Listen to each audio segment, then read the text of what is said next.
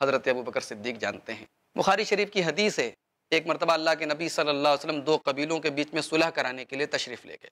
नमाज़ का वक्त हो गया, अल्लाह के नबी सल्लल्लाहु अलैहि वसल्लम मौजूद नहीं हैं। हज़रत बिलाल ने हज़रत अबू बकर सिद्दीक से कहा कि आप नमाज़ पढ़ाएँ।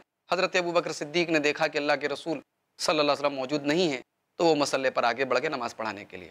हज़रत अबू बकर नमाज़ अभी पढ़ा रहे हैं कि इसी दौरान में अल्लाह के रसूल सल्लल्लाहु अलैहि वसल्लम तशरीफ़ ले आए और आप पीछे सब में शामिल हो गए। साहब कराम ने जब ये महसूस किया कि अल्लाह के नबी सल्लल्लाहु अलैहि वसल्लम तशरीफ़ ला चुके हैं तो साहब कराम ताली बजाने लगे। यानी अय अबू बकर, अब तुम पीछे चले आओ।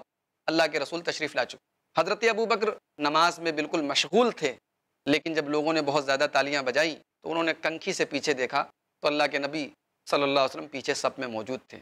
उन्होंने फ़ौर पीछे की तरफ़ पैर कर लिया और पीछे सब में वापस आने लगे। हालाँकि अल्लाह के रसूल सल्लल्लाहु अलैहि वसल्लम ने इशारा किया कि आप नमाज़ पढ़ाते रहिए, लेकिन वो रुके नहीं और पीछे चले आए। अल्लाह के रसूल सल्लल्लाहु अलैहि वसल्लम आगे बढ़े और आपने बाकी नमाज़ पढ़ाई।